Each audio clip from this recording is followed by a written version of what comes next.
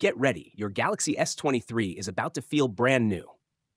Samsung has officially started rolling out the One UI 7.0 update for the Galaxy S23 series, bringing Android 15, a fresh new look, smoother animations, smarter Galaxy AI features, and more.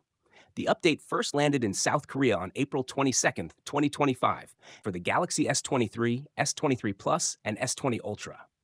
In the US, it started showing up around April 25, mainly on carrier locked models like Verizon.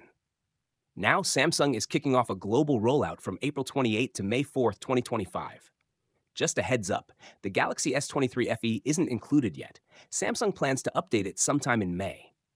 One UI 7.0 gives the S23 series a fresh modern vibe, and more users will soon get to experience it.